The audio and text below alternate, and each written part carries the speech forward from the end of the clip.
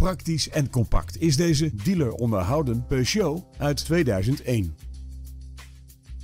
Met de pittige benzinemotor en de automatische transmissie manoeuvreert u moeiteloos door het verkeer.